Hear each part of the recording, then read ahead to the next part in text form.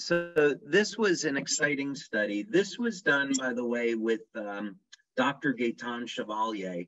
I've been working with Dr. Chevalier for over 10 years now. I think it's maybe approaching 14 years. He's a brilliant guy. He's a nuclear engineer and he was involved in uh, nuclear fusion research at UCLA. Uh, and his um, specialty is laser spectroscopy. And uh, he's since gotten involved in the effects of light on the human body, and that's how we got together to do some studies.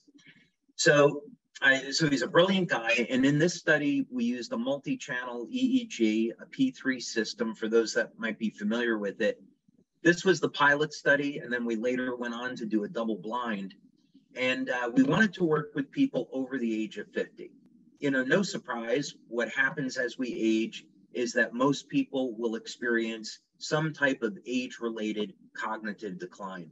Some of this is through declines in mitochondrial function, changes in hormone levels, um, lack of exercise, poor diet, and other things.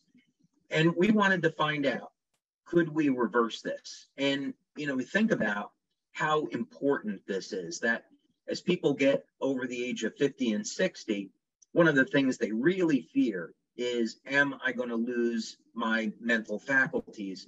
And if we could reverse that so that people could be, you know, 70, 80, 90 and above and not have any loss in their cognitive abilities, you know, that would be a remarkable contribution, much less anything else.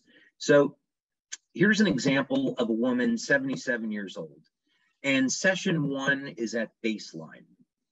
And at 77, you really don't see very much stem cell activity in the body. The cells have reached what's called the Hayflick limit. They've stopped dividing. The integrity and the quality of the stem cells is extraordinarily poor.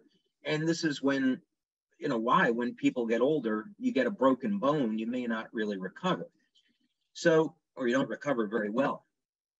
So session one was at baseline. And what we're seeing with these red areas is a lack of brain coherence or the ability of different regions of the brain to communicate with one another. And uh, this has a incredible impact on health. Session two is after only three weeks of using X39, where we see a dramatic improvement in brain coherence, and the effect gets even better after session three. And I asked Dr. Chevalier, you know, what would it take to see this type of transformation outside of X39? And he said, oh, well, he said, first, it never happens.